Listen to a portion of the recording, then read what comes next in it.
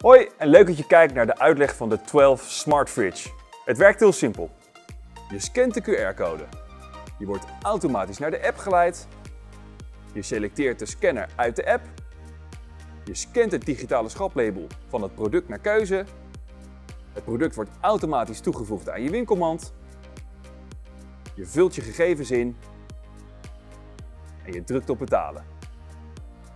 Ik heb betaald en ik ga nu lekker genieten van mijn consumptie.